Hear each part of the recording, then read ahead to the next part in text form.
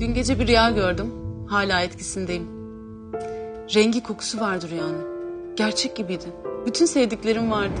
Annem, babam o kadar mutlulardı ki sanki omuzlarındaki bütün yük kalkmış kuş gibi hafiflemişlerdi. Zeynep hayatın aşkıyla tanışıyordu. Efendim boylu postlu, yakışıklı bir adam.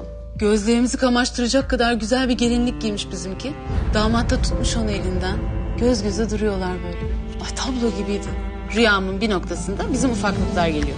Bunlar böyle sarılmışlar birbirlerine. Ayır ayırabilirsen insan daha nasıl mutlu olabilir diye düşünüyorum. Beklediğimiz güzel günler geliyor. Hayallerimiz gerçekleşiyor. Bence bu rüya bir mesaj. Bak ben inanıyorum. Güzel günler her an kapımızı çalabilir.